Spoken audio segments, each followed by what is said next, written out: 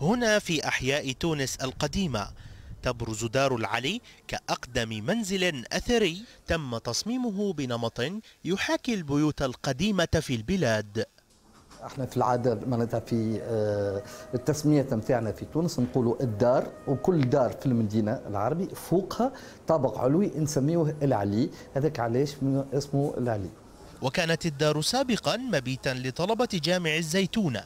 ثم أصبحت وكالة تؤوي المحتاجين.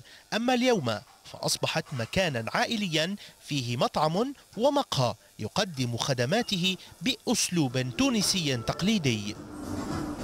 عام 2012 أه تحول العلي هذايا إلى أه فضاء عائلي أه يجيوه العائلات التونسية ويجيوه الأجانب ويحتوي الفضاء هذايا على مطعم وعلى مشرب اللي هو المقهى هذايا.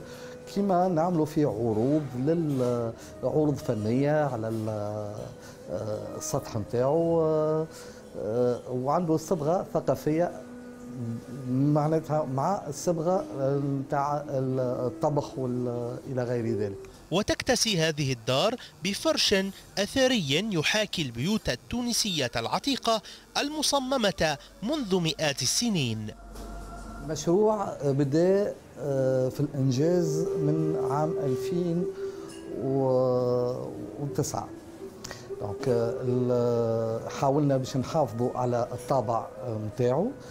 خلينا الأساس اللي هو البني اللي فيه طابع تونسي تونسي معناتها طابع معماري تونسي. وحاولنا أنه نستكملوا هذايا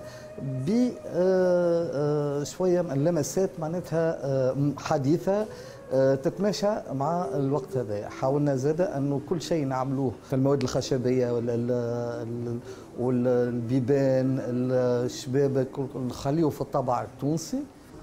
الدار ومنذ بنائها حافظت على نمطها المعماري الكلاسيكي بطراز إبداعي وبرونق خاص يحاول إبراز جمال الماضي.